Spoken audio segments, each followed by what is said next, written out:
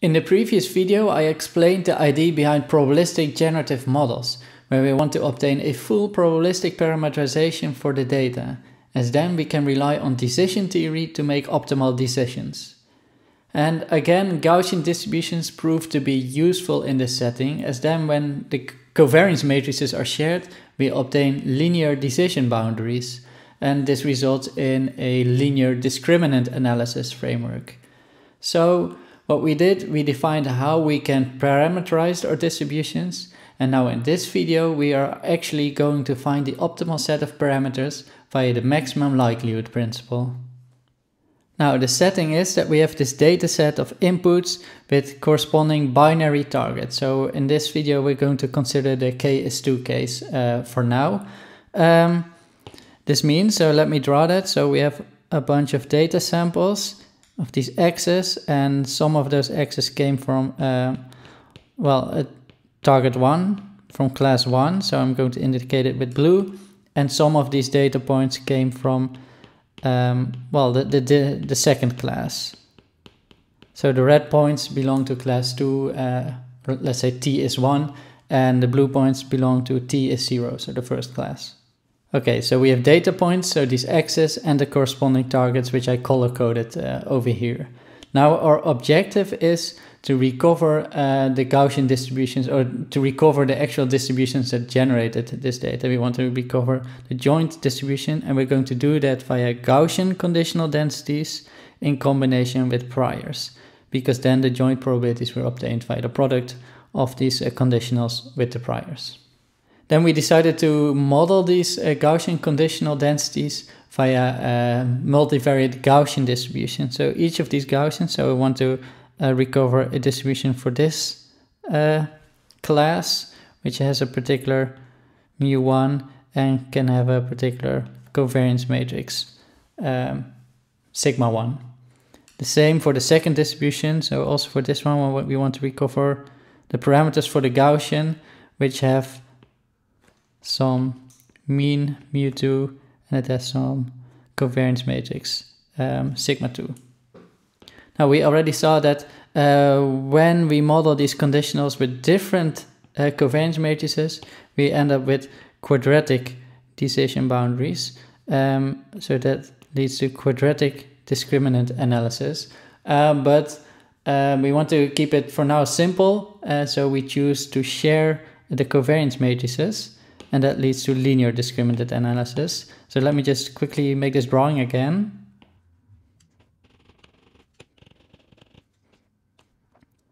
So what we're now going to do, we're going to assume that each conditional, like both conditionals share the same covariance matrix, but each distribution has its own uh, mean parameter mu1 and mu2. And if we do it this way, then it turns out that in the end we obtain a linear decision boundary and so we call this framework linear discriminant analysis. Okay, so in this setting both have the same covariance matrix, uh, capital sigma.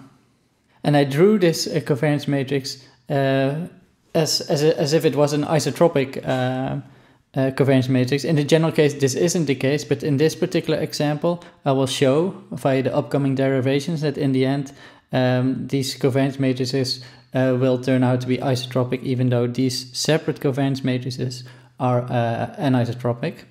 Okay, but that's our objective. Uh, so this is how we're going to model the data with two of such uh, Gaussian uh, conditional distributions, and we're set out to find the proper parameters uh, mu1, mu2 and the covariance matrix. Uh, but we also need to re recover the priors. And we're going to model the priors with just a number because we have two classes. So that means this number represents the probability for, uh, like the overall probability of observing a data point from class 1 will be represented with q. And then for the other class, this will be 1 minus q. Okay, and then we have a full probabilistic description of my data, namely the joint probability uh, for an xn for class 1 will be given by q, so the prior times, well, my uh, Gaussian distribution, parameterized with the mu1, and a covariance matrix. And for the other class, it will be 1 minus q times the normal distribution xn with its own mean but the same covariance matrix. Okay, so we're uh, going to pick our parameters. So we have these parameters q, mu uh, 1 and 2 and sigma and we're going to choose this based on the max maximum likelihood principle. Now recall that the likelihood uh, is given by uh, basically the joint likelihood of all my data points, uh, which we assume to be uh, IID. So they all come from the same distribution, which we're going to model uh, with this product of, um, well, the conditional and the prior. Okay, so the likelihood is then obtained by filling in these, uh, these data points, the xn and the tn's in our prior and the conditionals, evaluating this and taking the product over all my data points, right? Because that gives me the joint likelihood for these data samples being observed given my uh, distribution. And I said we're modeling the distribution with these Gaussians and the priors which were just given by numbers. Okay, and then we parameterize the joint in such a way that for whenever t uh, equals 1, so for one particular class, for class 1, um, this is what I'm evaluating, this is what the, the joint distribution look like, and for the other class, for t is 0, this is what it looks like. And now I'm going to make use of the fact that I'm working with a binary classification uh, method, such that my labels, I'm going to code it with 1 or 0, and this allows me to apply this sort of selection mechanism here, right? So for whenever class t is 1, this thing will be 1. I'm going to select indeed the joint probability for class 1 and my xn. And whenever um, tn is 0, then this thing, well, something to the power 0 will evaluate to 1, so this thing uh, is ignored. But this thing will be active because then we have 1 minus 0, so it means for t is 0, we select uh, the probabilities for class 2. Okay, so that then gives us this uh, nice expression for the likelihood, which is formulated as the product of all these uh, distributions, where I select the appropriate distribution for the corresponding class by taking these powers. And this was then the joint for class 1. So the prior for class 1 is q times uh, the class conditional distribution, and then the same for the second uh, uh, class, namely prior 1 minus q times the corresponding class conditional. Okay, and we've done this many times before, right, in the regression case, and the same principles also now apply in this probabilistic setting for classification. So instead of optimizing the likelihood, we're going to make it a bit more convenient for ourselves, and we're going to work with the log likelihood.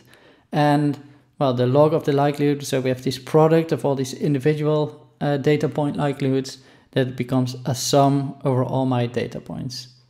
And then we have a product of these two terms. So this product also sims, uh, splits in a separate sum. So that's what we see over here. And then if we focus on, on one of these distributions, so t to the power n, if I take the log of something to the power tn, I can take this power up front. That's what's happening here. And uh, so if this q, this factor, so this is again a product, so it splits well, in these two terms. So this represents the log of uh, my first uh, joint uh, uh, probability.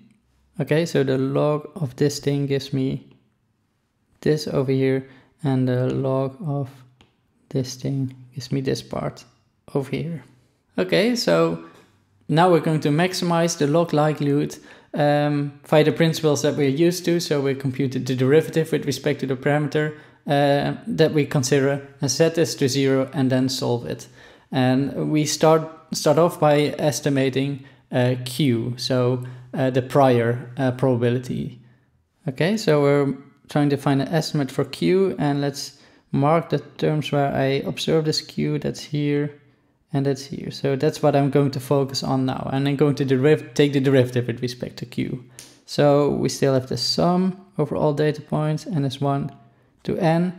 Uh, the derivative of this thing, the derivative of the log is 1 over q, so that gives me tn over q plus, uh, similarly here we can compute the derivative 1 minus tn, 1 over 1 minus q times minus 1 actually, right? Because I'm computing the chain rule, so that's 1 over the thing inside, and then the derivative, what's inside the log with respect to q, that's minus 1, so uh, that shows up over here.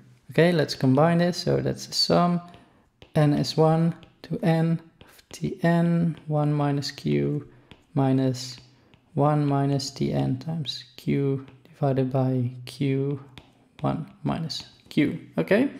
Okay, so let's quickly expand the numerator and simplify it a bit. Okay, where we see that this product of tn with q cancels out. So we can write this entire derivative of the log likelihood, uh, the derivative with respect to q as n is 1 to n, tn minus q, q1 minus q. And this is what we're going to set to 0, and now we're going to solve it for q. Okay, so this means actually that we're solving n is 1 to n, q is, and then the sum n is 1 to n of tn. And we could do this uh, because I'm assuming that q is unequal to 0 and I'm also assuming that q is unequal to 1 because then I can ignore this term and really focus on this. And this makes sense, right? We're looking for the prior probability. Uh, so we, uh, we're actually going to assume some number between 0 and 1. Um, okay, so that gives me this expression over here. Q doesn't depend on n, so this thing actually is going to evaluate to n times q, and that will give us the final estimate, the maximum likelihood estimate for q, which is given by the q maximum likelihood is given by 1 over n, and then the sum from n is 1 to n of tn. And tn is a binary thing that is either 0 or 1. So really what I'm doing is I'm counting the number of times tn is 1. Uh, so this actually gives me the ratio n1 over n. So like the total number of times that I'm observing a class 1 um, in the context of my total number of uh, observations. Okay, great. So we have obtained the maximum likelihood solution for Q, and it really is the fraction of times that I'm observing um, class 1. And that's also what it represents, right? So Q represents the prior probability of observing class 1. Okay, now we can follow the same recipe for the other parameters. Uh, let's focus now on mu1. Uh, where do we see mu1? That's this term. So we're going to focus on computing the derivative of this term meaning I have to compute the derivative of tm times the log of my Gaussian, di Gaussian distribution. Now the Gaussian distribution consisted of this uh, front factor plus this exponential. The front factor doesn't depend on mu, so we're going to ignore that for now. And then we take the log of this exponential, and that's just the thing what was inside the exponent, right?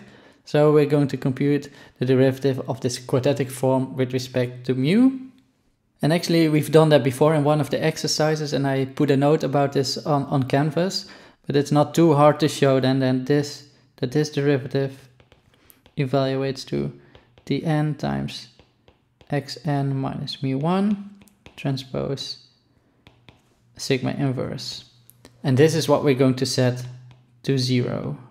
And actually I can write it in this form because um, sigma is symmetric. Okay, please refer to the notes on Canvas if you don't believe me uh, on this. So, okay, so this is derivative and we set it to zero. And recall that in our convention, the derivative of a multivariate variable is going to be a row vector. So actually this has to be uh, the zero row vector. Okay, now this implies actually that we're solving for um, the sum n is 1 to n of tn mu1 equals the sum n is 1 to n tn times xn, where this step really comes from the fact that this uh, sigma term doesn't determine, uh, well, the solution. Uh, this thing is actually positive definite, so it will never be this term that causes this to be zero. Okay, so here this step was based on the fact that sigma is positive definite. And then what I did, I moved uh, the X terms to the right and kept mu1 on the left hand side. And that gives me uh, this over here. And this in turn implies, um, because what I'm doing here is a sum over n, where tn is either 0 or 1, mu1 doesn't depend um, on n. So this actually gives me n1. So the number of times tn was equal to 1 times mu1 equals uh, this sum over here, tn xn, and we can move the n1 to the other side. Okay, so this really tells me that the maximum likelihood solution for mean 1 is given by 1 over n1 sum ns1 to n uh, tn xn. And this is really the sample mean, this is really the sample mean of all my points within this class for which tn equals 1. Right, because I'm ignoring all the points for which tn is 0, because then this product is 0. Okay, so this is really the mean over my points in class 1. And I have the same for uh, mu2, same derivation. I see that this is going to be the sample mean and is one of all points in the class 2 right? Where this term is 1 whenever tn is 0 and all the other terms are ignored. So this uh, the mean for um, my second class is given by uh, the sample mean over the points in that class. Okay great. So we now also have the maximum likelihood solution for the means. Uh, let's go back to the first slide. So that means now we already have obtained mu1 and mu2. So really the sample means over the points in class 1 gives me mu1 and the same, the mean over the points in class 2 gives me mu2. Now finally we can do the same for the covariance matrix and once we've done that we have a complete description of our data uh, given our, our Gaussian model. So the recipe is the same. We take the derivative with respect to the covariance matrix. So now it actually becomes a bit more complicated because now I'm taking this uh, tensor derivative or this matrix derivative of the log of the likelihood, which means I have to take the derivative uh, of these terms and these terms, which in the end means that I have to take the derivative of this over here. And now I'm not going to write this out because it takes a bit too long and it's a bit distracting from uh, the point that I'm trying to make. Uh, so I keep it short here. Um, there is some short derivation in the book of Bishop. So let me write that down in Bishop 4.2.2. Um, but I also included a note on Canvas uh, in which one of the previous uh, teachers, uh, Rianne van den Berg, uh, wrote out how to compute this uh, matrix derivative. So if you're interested in this, um, please look at take a look at uh, the book and her notes. Um, but the main point I'm trying to make here is that if we do this and we set it to zero and then solve for the covariance matrix, we get the expression that we see over here, that we see here below. And this is a really nice result actually. We see that uh, the, the maximum likelihood solution for the covariance matrix uh, consists of the sample covariance of the points within class 1. So this is going to be sigma 1. Partly consists of the covariance matrix of class 2. Right, this is the covariance matrix uh, when we're dealing with a discrete data set. And my final maximum likelihood uh, covariance will be a weighted average of these two covariance matrices where uh, the first one is weighted with the number of times uh, my uh, I observe my data points in this class plus my weight, so the number of times um, my data point lies in, in the second class. So my maximum likelihood solution will be a combination of these two covariance matrices. So if we then go back to the first slide, so we were estimating these uh, uh, distributions with Gaussians and we said we're going to share the covariance matrix, uh, so they will be the same uh, it turns out that this sigma will be a weighted average of these two covariance matrices. And what I did in this example, I plotted these points, so I sort of assumed that these points had this uh, covariance matrix anisotropic in one direction, and this one is anisotropic in the other direction, and the average of the two uh, will cancel out these anisotropies and will lead to a uh, well, isotropic covariance uh, matrix. Okay, um, so I, I, want to stress now that um, I took this as an example, but in the general case, um, the resulting covariance matrix, does not have to be isotropic, right? If this distribution was isotropic also and isotropic also in this direction, just like this one, then well, the average of the two will also be uh, anisotropic in this direction. Uh, but the main point is that these sigmas are the same and that will re result in a linear decision boundary. Okay, so really that wraps it up for this uh, maximum likelihood approach for determining these modeling parameters. Um, so the, the idea was we had these data points coming from class 1, let's say to distribute it like this, and we have a point of class 2. Let me now draw it also maybe with a covariance matrix, uh, which is anisotropic. Okay, then um, the mean of the Gaussian distribution for this uh, class will be given by the sample mean for the points in that class. Uh, the mean for this will be given by the sample mean, well, of that class. So those were the maximum likelihood solution solutions given over here, okay? Uh, then we also want to uh, estimate this covariance matrix, and it turns out that this covariance matrix will be a um, weighted sum of this covariance matrix.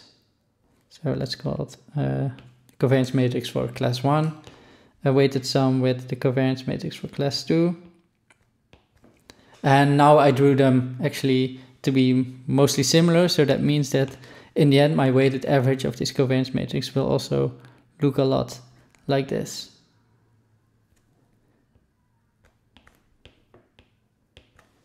Okay, so the covariance matrix, uh, the maximum likelihood solution for the covariance matrix was the weighted average of these two separate covariance uh, matrices. And now that, that tells me then that in the end, because I have two Gaussians with the same covariance matrix, that my decision boundary will be linear. And then finally, for this full probabilistic setting, we also had to compute uh, the prior probabilities, and these are simply computed via the fraction of or the number of times that I observe data points in one class. Okay, and then all of this together gives me a nice description for the joint probabilities, uh, which evaluate for, for class 1 is given as follows, and evaluate for class 2 is given as follows. Okay, and then a really final remark, this whole framework was called linear discriminant analysis because the final result of my model uh, will lead to a linear decision boundary. And I showed before uh, that it comes from the fact that now uh, my posterior distributions uh, for the classes are given in the following form. So this is still the, the binary case. So we had this linear model, which we then pull through a logistic sigmoid. And this linear model can now also be expressed in uh, the identities or the, the entities that we just derived, namely uh, the maximum likelihood solution for this linear model would then be given by the covariance inverse times the difference between the two uh, model averages. And then we have also uh, this bias term expressed in these same components that we just computed. So we really have a full solution to our um, model. And now we can make predictions with this. So whenever we have a new data point x prime, we're just going to ev evaluate the posterior distribution and whenever it's larger than a half, then we say it belongs to class 1. And if it's lower than a half, then we say it belongs to class 2. Okay, now uh, purely thinking in this linear model over here, this classification boundary saying that it's larger than a half actually corresponds to checking whenever my linear model for this given x prime, so I just evaluate this linear model, is bigger than zero. So that's the only thing I need to check if I want to decide whether this point lies in class 1 or in class 2. Okay, so there's some clear advantages to this linear uh, discriminant analysis framework. Uh, first and foremost, uh, the model parameters can be derived analytically in closed form, so that's summarized over here. And once we have that, we have a full parametric probabilistic description of my data and we can use it to make decisions. And the decisions rules are very simple by this linear model. Now, there are also some disadvantages to linear discriminant analysis, and I think the most important one is that the Gaussian distributions are very uh, sensitive to outliers, meaning that if I have a data point in the red class somewhere over here, then that really induces a great shift in the mean in this direction. And actually the same in the covariance matrix, it will become uh, distorted. So this Gaussian framework is actually quite sensitive to outliers. Uh, another thing is, and I'll get back to that uh, later on, but it heavily relies on handcrafted features. So if I go to higher dimensional spaces, I want to work with basis functions, and um, I have to make choices there, and that complicates uh, things a bit. And and finally, a remark which we also actually saw in the linear regression case, the same here in the linear classification case, is that the maximum likelihood solutions are quite prone to overfitting, right? Because in this uh, maximum likelihood approach, I so far I didn't consider any regularization terms.